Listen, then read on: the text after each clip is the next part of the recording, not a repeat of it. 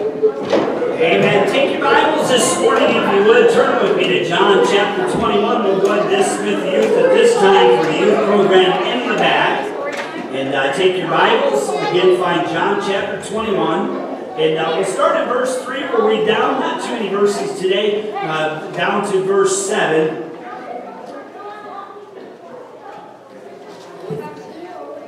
So starting in chapter 21, John 21. And uh, when you find that, go ahead and stand with me for the reading of God's Word. John chapter 21, starting in verse 3.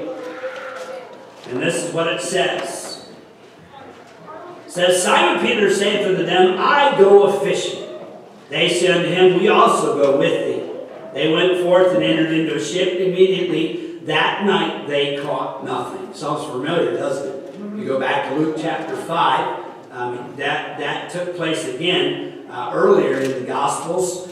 And uh, here we are the, the, towards the end of the Gospel. Of course, Christ has went to the cross. Christ is resurrected. And uh, here's Peter going fishing again.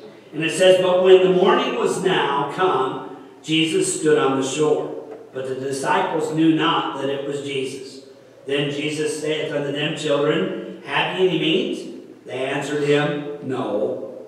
And he said unto them, Cast the net on the right side of the ship, and ye shall find. They cast therefore, and now they were not able to draw it for the multitude of fishes. Therefore that disciple whom Jesus loved saith unto Peter, It is the Lord. Now when Simon Peter heard that it was the Lord, he girded his fisher's coat unto him, for he was naked, and did cast himself into the sea. And the others came in a little ship, for they were not far from land, but as it were two hundred cubits, dragging the net with fishes. As soon then as they were come uh, to the land, they saw a fire of coals there, and fish there laid thereon, and bread. Jesus saith unto them, Bring up the fish which ye have now caught. Simon Peter went up and drew the net to the land full of great fishes, uh, and hundred and fifty and three, and for all there were so many, yet was not the net broken. Jesus saith unto them, Come and dine. And none of the disciples durst ask him, Who art thou? knowing that it was the Lord. We'll stop right there. Father, again, we're grateful. And Lord, we pray that you bless us now and give us a good time in your word. And speak to our hearts, Lord, and help us. Again, just, uh, Lord, we're here to worship you. But Lord, it's more than just that. Uh, Lord, we have so much to learn. There's so much depth in your word and in your character, Lord. And uh, so we come begging to, uh, to know you better and to learn more about you. And so I pray that you speak to our hearts, Lord. And again, if there's someone here tonight or this morning uh, that is not saved, Lord, I pray that you speak to their hearts and help them, Lord.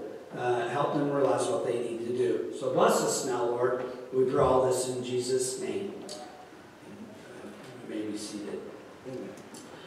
This is the second time that we're looking at this account. I've already kind of uh, mentioned that. That this is the second time uh, that the Lord has encountered these men in a very similar setting. Uh, on the, on the, uh, they were on the water, and uh, they were applying at what they thought that they were good at. You could go back to Luke chapter 5. As a matter of fact, I have a couple verses here in my notes. It says, Now when he had left speaking, he said unto Simon, Launch out into the deep, and let down your nets for a draught. And Simon uh, answering said unto him, Master, we have toiled all the night, and have taken nothing. Nevertheless, at thy word, uh, I will let down the net. And so we see it's a very familiar setting for Simon. Of course, they had went back to fishing after the rejection that they experienced, uh, um, going to the cross. Christ went to the cross, and of course met them in that uh, little uh, uh little room. And, and uh, what ended up happening is, of course, here here Christ has has come back to them and visiting them again to encourage them. And we know this as the reinstatement of Peter, where he talked to him three times uh, or in, in, in, encouraged him three times uh, to trust in him. And today, what I want to preach about is uh, can God use you? And uh, this gives us some great insight into uh, to how Christ wants to use us and how we are to, to surrender our will to Him. And so, but what we need to realize is this, and I think this will help us in this day and time. We need to get something straight that, that, that this is God, and God really doesn't need us. I mean, when you really think about it, he doesn't need you. I know, I, I know that's kind of hard to say, and uh, it might hurt some feelings, but when we really think about who God is, he really doesn't need us. As a matter of fact, God has never needed mankind. And uh, mankind has always needed God. Would you agree with that? That we need God more than he needs us. Our community, our nation needs God. And uh, we need to be a nation under God. And, and I believe even when the, when the Bible's rightly divided, it shows us early on that God never needed us and that, that we're, we weren't even, and you might, you might uh, lift your eyebrows at this, and I, I question even on whether to talk about this a lot, but I teach it regularly, and that is we were really not even God's first choice when you think about it. Did you realize that? And let me show you what I'm talking about, then we'll get into the, the, the uh, message a little bit more. But turn back to Genesis chapter 1 real quick, uh, and let me show you what I'm talking about. Because this will kind of drive home for you, I think, when I say that, that, that, that we need God. God doesn't necessarily need us. Now, He wants us to serve Him. He wants to use us. But He can, he can get along without us. Turn back to Genesis chapter 1. And as I said, this might raise your eyebrows, and you might have heard this before, you might not have heard it before. But look at uh, Genesis chapter 1. And look at verse 1 in uh, Genesis chapter 1. And it says, In the beginning, God created the heaven and the earth. And then that verse 2 says something that I never recognized for many years. Um, I got saved when I was 10 years old at Juniata Baptist Church. And uh, you've heard my testimony before, many of you have that when I got saved at Juniata Baptist Church, it wasn't, it didn't seem like five, six months later, uh, our family had moved. Gen, uh, uh, uh Juniata Baptist Church had a great bus ministry, and uh, we were renting a house from the assistant pastor at Juniata, and he came and uh, invited me to, to go to church. And uh, we went, I went to church, I got saved, and it didn't seem like it was long after that uh, we had moved, and of course I didn't get back into church. And uh, so I got saved, but I didn't grow in the Lord. And so there's things in the Bible that, man, I was, I, I was, I didn't know. Like this, where it says in the beginning, that Genesis chapter 1, verse 1, in the beginning God created the heaven and the earth, and the earth was without form and void, and darkness was upon the face of the deep, and the Spirit of God moved upon the face of the waters. And so as you read that, many will say, you know, the, the, I've heard people accredit it to, well, he's a gap theorist. No, not at all. Matter of fact, I can prove to you in Scripture that something took place here that many don't catch when you read this. Again, it says, in the beginning, God created the heaven and the earth. And so what it's showing us here is that when God created the heaven and the earth, something took place between verse 1 and verse 2, Then all of a sudden the earth goes from being perfectly created, heaven and earth, to now all of a sudden it lays there without form and without void. Now, if you go to study that out, I tell people what you need is, rather than to listen to what people say, allow the Bible to teach you what it's trying to show you.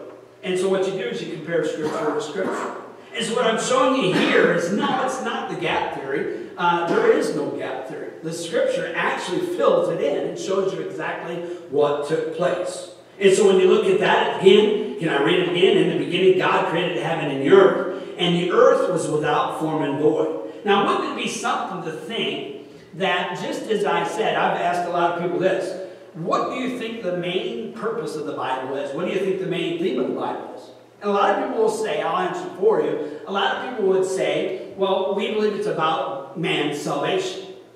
And I'd say, well, I can show you some things in the Bible that really, man is, you know, we try to make the Bible, uh, we try to do what, uh, we make the man the center of the Bible, and really we're not. Uh, what the Bible is really about is the themes about the battle for the throne. And, and so what we're talking about is good versus evil. And man really is kind of uh, a, a second thought. What do you mean by that? Well, look at what it says. It says, In the beginning God created the heaven and the earth, and the earth was without form and void, and darkness was upon the face of the deep, and the Spirit of God moved upon the face of the waters. What I propose, the Bible shows us, is that something happened between verse 1 and 2, that this earth was created perfect. And what happened is, then all of a sudden this earth is laying without form and void. Now what happened? Well, I can give you some hints of what happened. Um, we first let's look at uh, look at a major hint right here in uh, chapter one and verse 26. And what we're doing is, in, in, some might say, well, do you believe in a literal creation? I said, absolutely, I do. I believe in a, a literal uh, six day, 24 hour day, uh, or a seven day week. I believe in all that.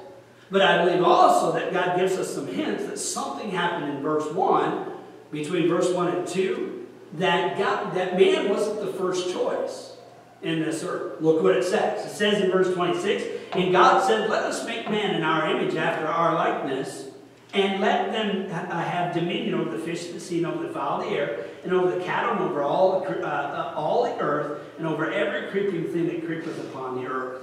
So God, what it says in verse 27, so God created man in his own image, in the image of God created him, male and female created he them.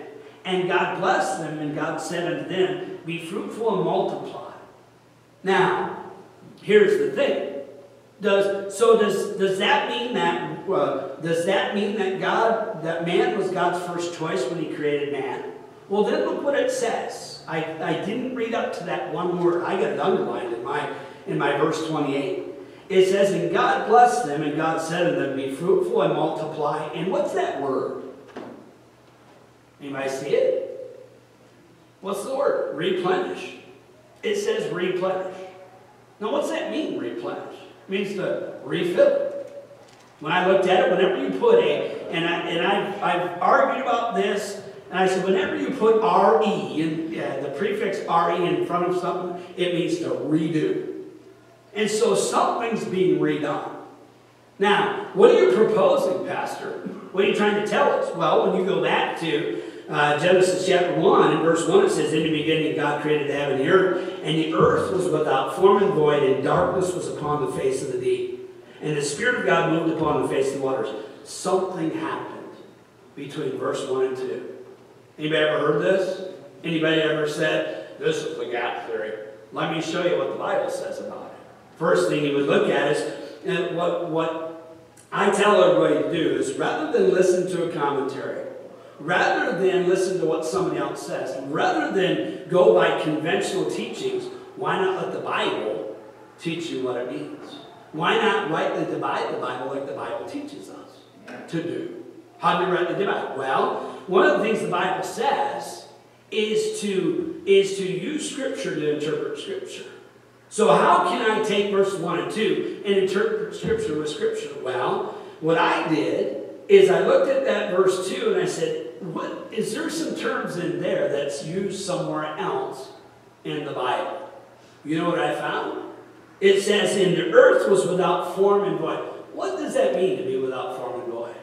Well, you look at some commentaries, and a lot of them say, well, that just means it was the kind of like, like the pre uh, creation ball, uh, muddy earth as God was creating it. No, verse because verse one. If I'm to take my Bible literally, verse one says, "In the beginning, God created the heaven and the earth. It was done." And so all of a sudden here it says the earth was without form and void. It laid in ruins. If you look at what without form and void means, it means it was ruined. Not, not in, not in the, the process of being created, it had been created and in ruins. So how can you prove that? Well, you go by Scripture. And so what I did is I found where one other time that without form and void is used. You know where it's used at? Anybody know? Jeremiah chapter 4. Turn there with me. Real quick, Jeremiah chapter 4. Now this is kind of just a prelude to what I'm preaching about this morning. And that is, can God use you? And God doesn't need you, but he wants to use you. And so look at Jeremiah chapter 4. And uh, I want to show you something. Jeremiah chapter 4, and lo and behold, what you're going to find is there's those very same terms. You ever heard the, the term, uh, the rule of first mention? Well, what you'll find out is uh, many times when God uses something, he starts to reveal something. And then, then what will happen is he'll use it again in Scripture and give a little bit more understanding. Sometimes it works one way and sometimes it works the other.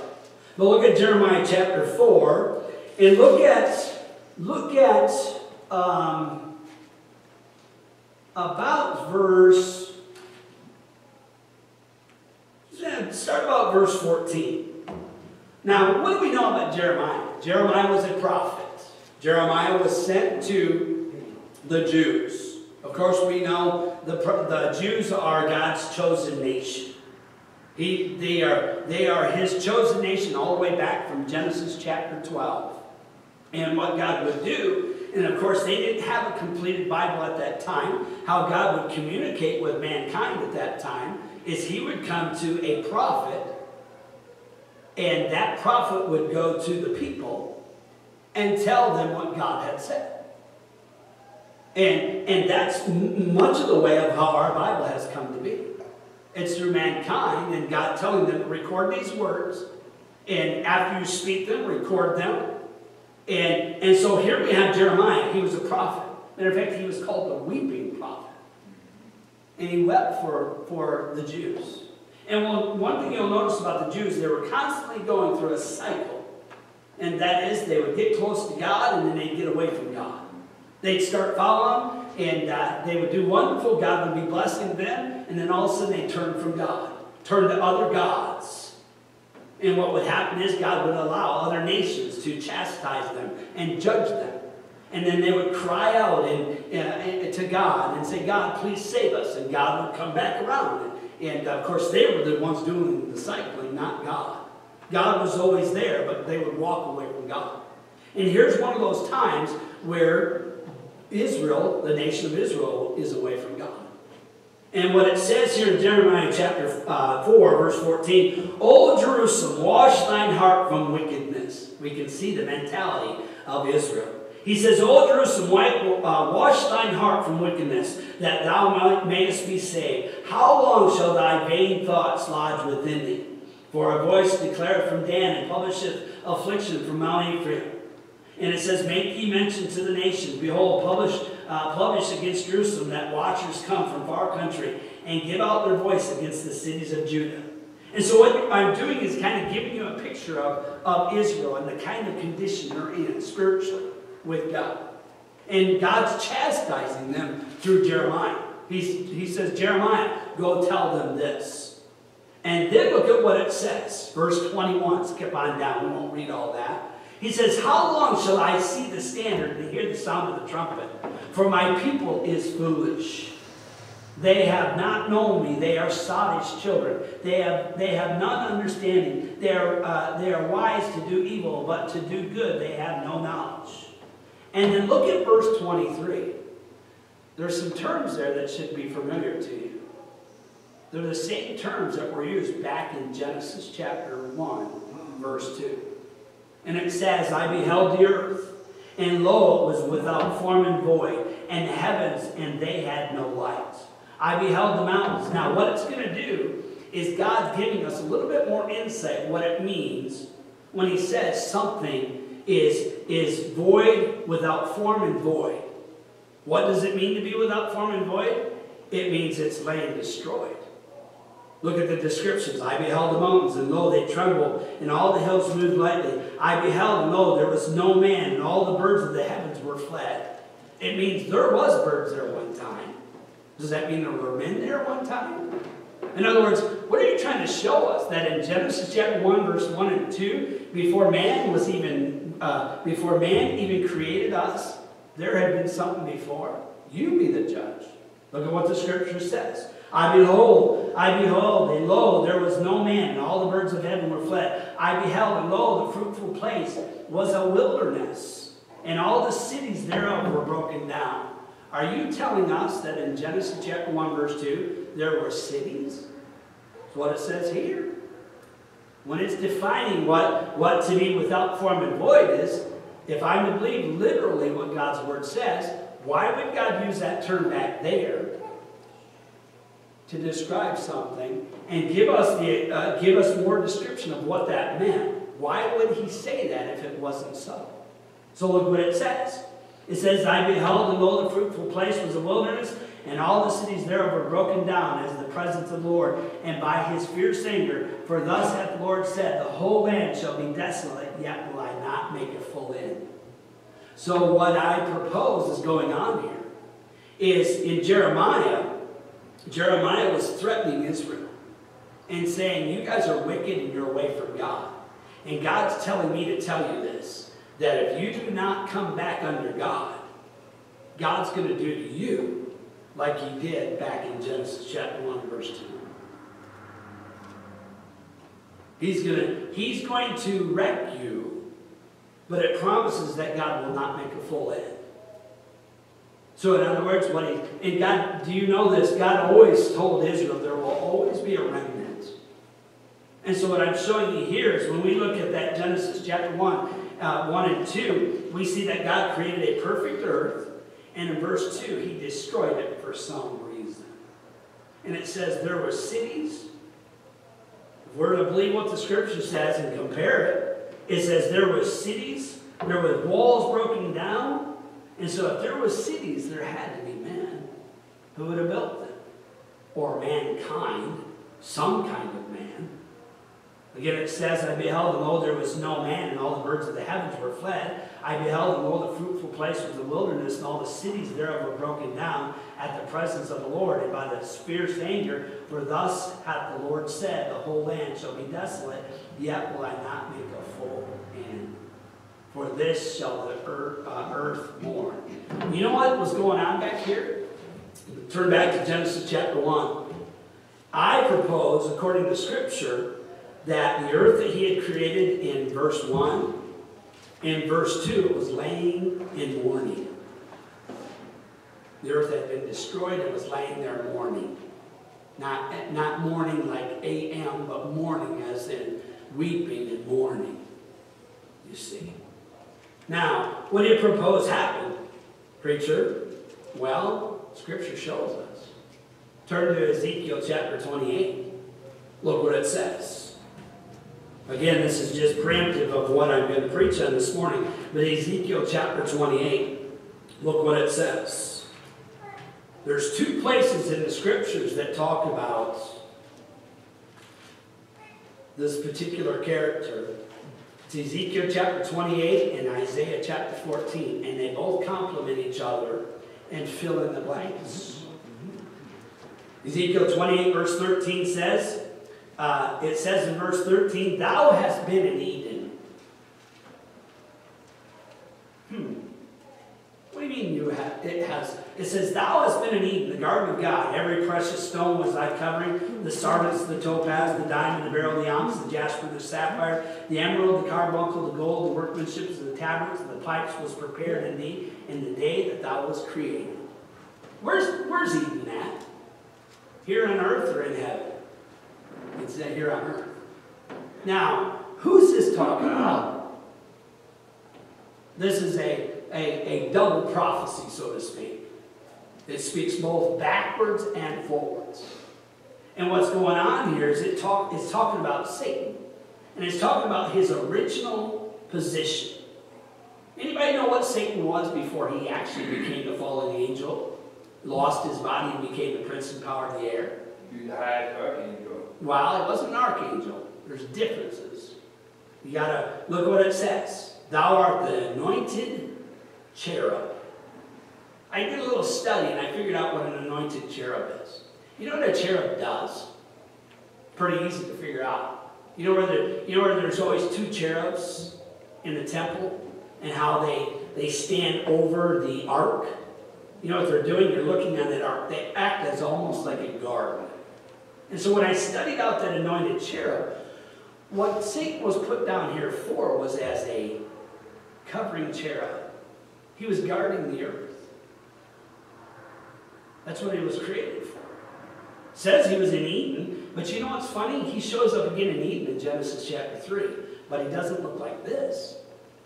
He's not covered in wonderful jewels and all that kind of stuff. What he is there is a, anybody know what he is in, in Eden? Yeah, he's a serpent. He's a serpent. And so here is the most beautiful image, a, an anointed cherub. A cherub is a four-winged creature. And what you see is that here he is a cherub and he's in Eden. Now, what, what a lot of guys will do, a lot of commentaries will do, they'll, they'll trip over themselves to try to render this out of the Bible. Because they don't want to believe what I teach. They don't want to believe what the Bible teaches. And that is, there's no gap theory. It's perfectly, it's perfectly given for us right here. It's not a gap theory. What it is, is it said, it shows us that what happened between in the beginning God created the heaven and the earth, earth was perfectly formed, and then all of a sudden in verse 2, it's without form and void, it's laying in ruins, is because that original earth was covered by a cherub, guarded by a cherub. And what had happened is, read on in Ezekiel 28, it says, Thou art the anointed cherub that covereth, and I have set thee so, thou wast upon the holy mountain of God. Anybody ever studied out the holy mountain of God? You know where that's at? It's, it's always physical. It's never in heaven. It's always here on earth. You know where it's at? It's in Jerusalem. It's always, it's in Jerusalem. The holy mountain of God is in Jerusalem. It's where the temple is going to be. It's where the, the, the, the uh, throne's going to be. And so it says here, Thou art the anointed chair that covereth, I have set thee as thou was upon the holy mountain of God. Thou hast walked up and down in the midst of the stones of fire. Where's that at? It's here on earth. Look at any mention that it talks about it, and it's always earthly. Thou was perfect in thy ways from the day that thou was created till, uh, till iniquity was found in thee. By the multitude of thy merchandise they have filled the midst of thee with violence, and thou hast sinned. Therefore I will cast thee as profane out of the mountain of God, and I will destroy thee. Now, so what you're telling us, preacher, is that the original, the original earth was guarded by Satan. Yes, but he wasn't Satan. He was, he was, he was Lucifer, the anointed cherub. Anybody know what the anointed cherub is now? When, when Lucifer, and it says it in Scripture what happened, he lost his body. And what, what did he become? You look at Ephesians chapter 2, it tells you exactly what he became. I'll read it for you. Ephesians chapter 2. Now, why are you showing us all this? Well, because it kind of plays into what I wanted to preach to you this morning. Ephesians chapter 2, listen to this. It says, And you hath he quickened, talking about those that have gotten saved, and you hath he quickened who were dead in trespasses and sins, where in time past you walked according to the course of this world, according to the, no longer the anointed cherub. Now who Satan is, who, the, who Lucifer became, was the prince of the power of the air. You know what? You know what the anointed cherub is now? You know what Satan is now? He's a spirit. He's the prince and power of the air. The spirit that now worketh in the children of disobedience. So, pastor, preacher, how do you explain in Genesis chapter 3 where he shows up in the Garden of Eden there? What he did there is he was already a spirit. And what he had to do is commandeer a body. He doesn't have a body. He's, a, he's the prince of the power of the air. He's a spirit. And what he does is he has to possess something to be able to, to have, a, have a physical presence in front of somebody that's physical. He has to possess something. What did he possess? Back there in Genesis chapter 3, it's very simple. Genesis chapter 3 says, Now the serpent was more subtle than any beast of the field. I wonder why that serpent was more subtle than any beast of the field. Because he was possessed by a spirit that was originally created as the covering cherub. And it says, it says, and the first thing that he did is he said, and he said unto the woman, Yea, hath God said. First thing he started doing is attacking God. Amen. So what I said is this. Really, we're not the center of this Bible. What we are is, yes, we have been created. Yes, we have a special uh, use with God. And yes, we have a special relationship with God, created in his image. But, but we didn't start out in this Bible. Matter of fact, when you look at it, what you'll see is that we came, we kind of were a second thought. You look at that again in, uh, in verse, now that to me, I don't know about you, but if you mark that replenish in your Bible, that makes you look totally different at that word. Now, I know what you've heard. A lot of people say, well, that's a misfortunate mistranslation, unfortunate mistranslation. Anybody ever told you that your King James Bible has been mistranslated? All the time. You know why? Because you got Satan saying, Yea, hath God said. He's attacking God's word constantly. And the last thing he wants you to do is see the full picture. And, and I said all that to say, but God can use us. Even though, I, you know, it seems kind of harsh, Pastor, that you sit there and you tell us that we were, weren't even really God's first choice. Well, I'm sorry. But I, I choose to believe what the Bible says. And I choose to believe that something happened, and we pretty well can clearly see what happened. If you'll write down Isaiah 14, Ezekiel 28, and Jeremiah 4, you'll be able to piece it together. It's right there. As clear as day. But we have a purpose. And what I want to ask you this morning is, will you let God use you for your purpose? Amen. Now, where are we going here? Well, when we look at what we read this uh, this morning, turn back again, again if you would, and I want you to see something. Matter of fact, turn back even farther to Luke chapter 5. Luke chapter 5. I want to go to the original account where, where God was dealing with Peter and his, those that were fishing with him. Luke chapter 5, and it says, And it came to pass that as the people pressed upon him to, to hear the word of God, he stood by the lake of Gennesaret and saw two ships standing by the lake. But the fishermen were gone out of them and were washing their nets. And he entered into one of the ships, which was Simon's, and, and, and it says, prayed him that he would thrust out a little from the land. And he sat down and taught the people out of the ship. So what he did is he, he commandeered Peter's ship. And he preached out of Peter's ship. And almost as a, as a payment for Peter letting him use his vessel, then he gives him a blessing. Look what it says. Verse 4, Now when he had left speaking, he said unto Simon, Launch out into the deep, and let down your nets for a draught. And Simon answering said unto him, Master, we have toiled all the night, and have taken nothing. Nevertheless, at thy word I will let down the nets. And when they had, when they had this done, they enclosed a great multitude of fishes, and their nets break. And so what we can see is that, that Peter was blessed because he allowed Christ to use his vessel. And my challenge this morning is what it really boils down to, who is willing to be used of God? Are you willing to be used of God? And what is God looking for? If you're willing to be used of God, what is God looking for? Well, the first thing we can see there is in verse 3 again, it says, he entered into one of the ships, which was Simon's, and prayed him that he would thrust out a little from land. And he sat down and taught the people of the ship. And so what I would challenge you with is the first thing that God wants to know is, can God use you? Amen. And thank God, God is willing to stoop down to us and use us. First of all, a miraculous work has to, has to take place. You know what the Pharisees' problem was in the Bible many times? Is they thought they could make themselves fit for God's use.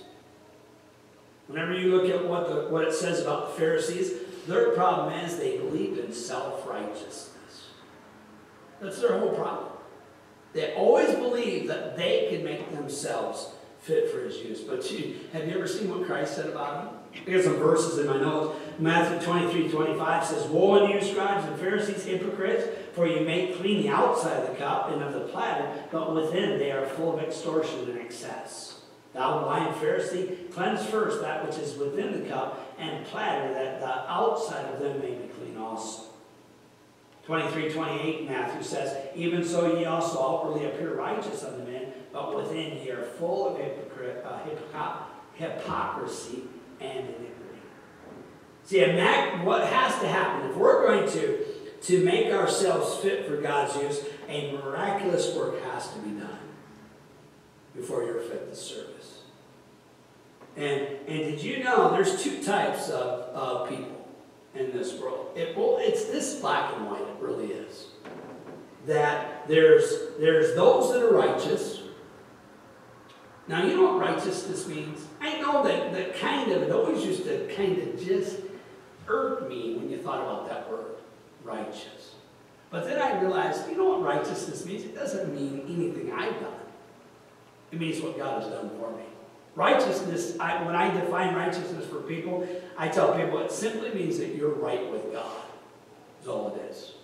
Righteousness is no more, no less than being right with God. And see, the problem with the Pharisees is they thought they could make themselves righteous. Know, they, were, they polished everything. And that's probably why we have a, have kind of a, a slanted look at righteousness when we hear, you think you're righteous. No. I don't think I'm righteous. I think I'm right with God. I've done what I need to do to get saved and to be right with Him. So righteous, the best way to define it is to be right with God. Now, how to be right with God can be explained by the other type of vessel. We already turned there once, but if you can't keep there where you're at in Luke chapter 5, and turn with me to Ephesians chapter 2 again.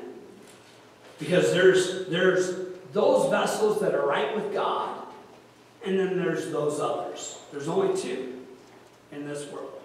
And you're one or the other, where it boils down to. It says in, in chapter 2 again, verse, uh, verse 2, it says, Wherein in time past you walked according to the course of this world, according to the prince and power of the air, the spirit that now worketh in the children of disobedience. You either, you know what it boils down to? And this is pretty harsh. You either have the spirit of God in you, or you have the spirit of the devil. One way or the other. It's the only way it is. It's only two people. You either have the Spirit of God in you or you have the Spirit of the devil. There's no in between.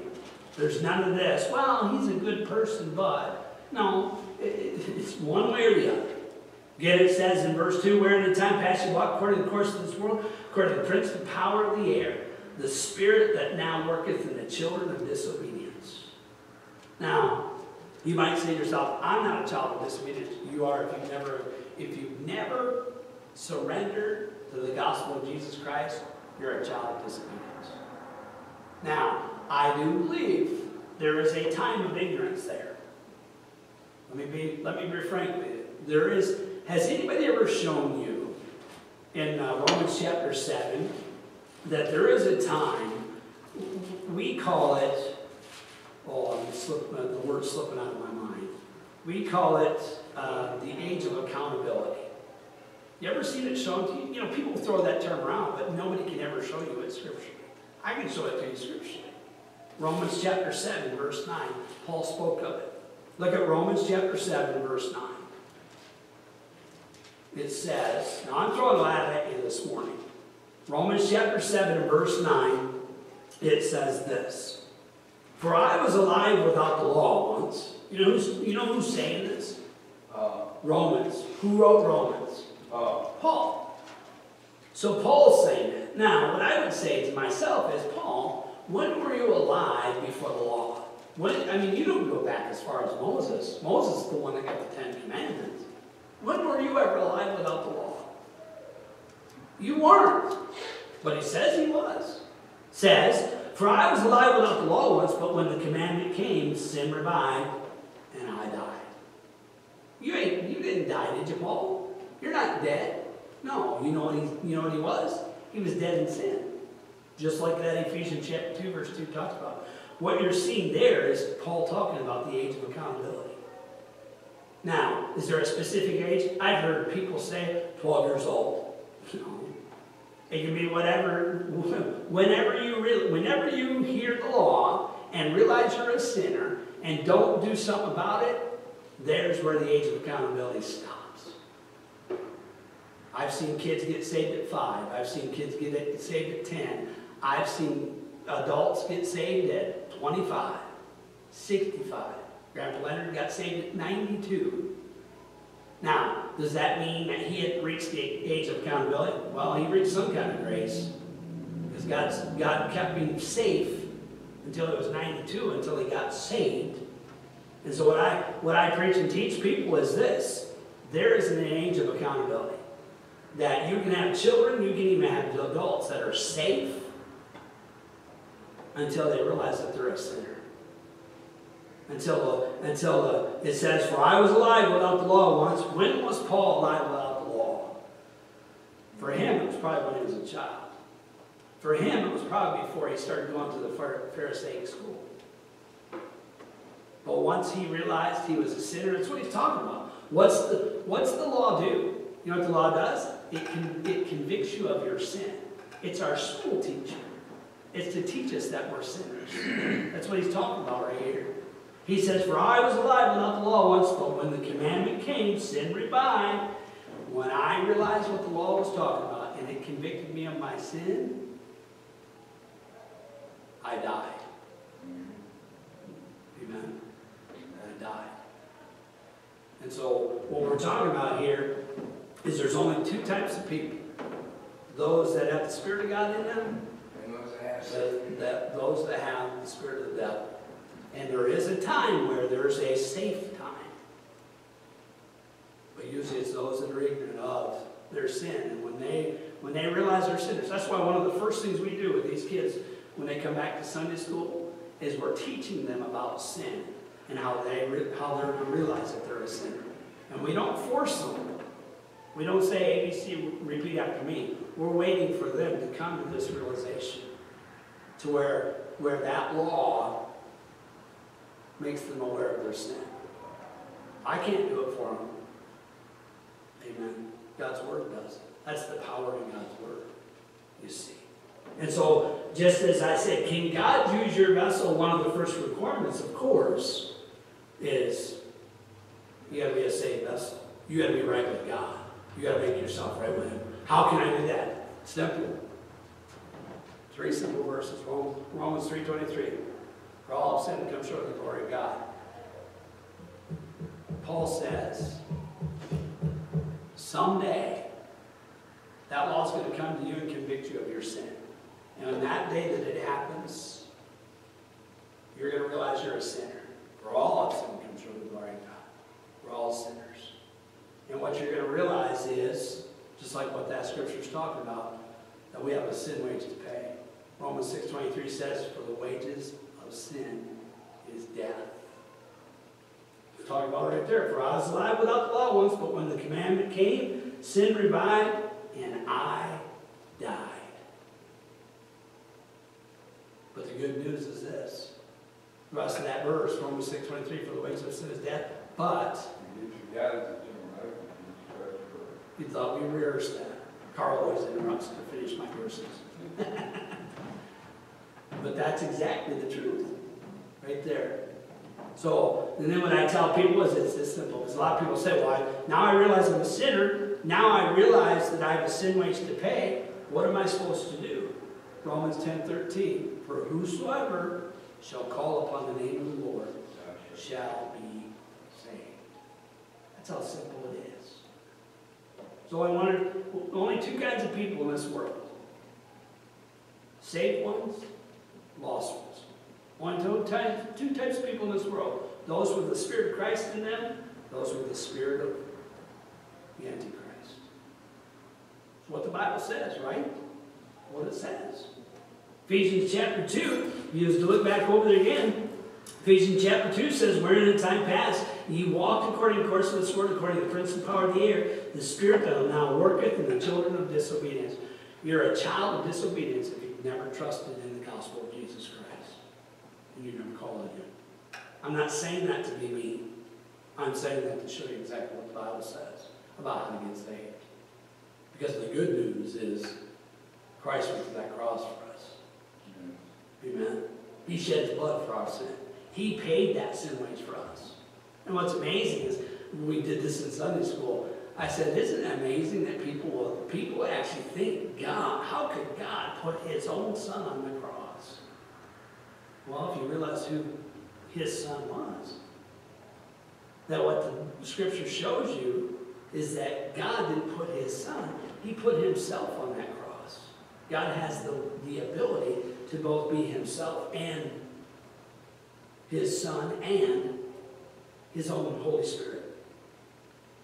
It's called the Godhead. It's how simple it is. So God put himself on the cross to pay your sin. And so, and so God makes it so easy for us to be used of him. He went to the cross and died for us, you see. And what's amazing is here he is showing Peter a second time. We read that in John 21, where God comes in the form of man as Jesus Christ. It says, cast that net on the other side. You haven't caught anything? And he wants to use their vessel. He wants to use our vessel. And so, so our challenge is, will you heed God's command? Look at uh, back there in, in uh, Luke chapter 4. I mean, sorry, Luke chapter 5, verse 4. Look what it says. It says, Now, when he had left speaking, he said unto Simon, Launch out into the deep and let down your nets for a draught. And look at what Simon does. And Simon answering said unto him, Master, we have toiled all the night. You know what he did? He kind of argued with Christ. He argued with God himself. He argued with Emmanuel. What's Emmanuel mean? God with us. So God came in the form of man, and what does Peter do? He argues with him. And, and when I, why I say that is because are you willing to heed God's command? Because what a lot of people do, they'll hear plain as day on how to get saved and how to allow God to use their vessel. And what they'll do is they'll argue. Or they'll put it off. Or they'll say, well, I, I, don't, I can't tell you the number of times I've knocked someone's door and I showed them the gospel just as plain as what I've showed you. And they'll sit there and go, well, that makes sense, but I believe, I believe I can, I believe you do it this way. I believe I can be a good person and still go to heaven. I don't believe, I believe, I've never killed anybody, so I believe that someday when I stand before God and be judged, that He'll say, He'll let me in because. You know what they're doing? They're arguing. That's what God was. Yeah, they're arguing. That's exactly what Peter was doing. He says, but what Peter did is he relented very soon. Because when, when Christ asked him to, uh, uh, to cast out, launch out for a draught, Peter said, well, we've been, we've been fishing all night. There ain't no fish out there. It's not a good time for it. And right now is the worst time. But nevertheless, he says. And so our challenge is the same thing. When you hear what to do to be saved, or when you hear what to do to be used of God, I challenge you not to argue with him. And then finally, look at, uh, and this probably has more to do with many of us here, because many of you probably have the testimony of being saved. And you can say, well, I've done it. I've heard all this. Well, that's wonderful. But then look at what else we need to do if we're going to allow God to use our vessel, if we're going to allow God to use us. Because then you read the rest of that verse, uh, verse 4 in Luke chapter 5, on down through verse 11. It says, And Simon answering said unto him, Master, we have toiled all the night and have taken nothing. Nevertheless, thy word I will let down the net. And when they had this done, they enclosed a great multitude of fishes, and their net brake. And they beckoned unto their partners, which were in the other ship, that they should come and help them. And they came and filled both ships, so that they began to sink. And when Simon Peter saw it, he fell down at Jesus' knees, saying, Depart from me, for I am a sinful man. For he was astonished, and all that were with him, at the draught of the fishes which they had taken. And so was also James and John, son of Zebedee, which were partners with Simon. And Jesus said unto Simon, Fear not, from henceforth thou shalt catch men.